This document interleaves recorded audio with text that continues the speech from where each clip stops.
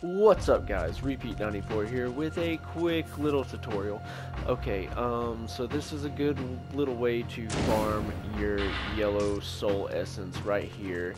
As you can see, I am on chapter 18, the core, at the palace compound save point. So what you want to do is get your flails, run in this little area. What's going to happen is you're going to have a bunch of enemies spawn. You're going to jump up, start your combo, wait for them to spawn again, and rinse and repeat up until they stop spawning. And as long as you're able to get a combo that's that continue to make yellow soul essence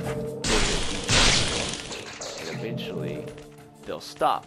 And in order to reset that, you just run back out here and turn back around and rinse and repeat. Good luck everybody. Hope you have fun. Peace.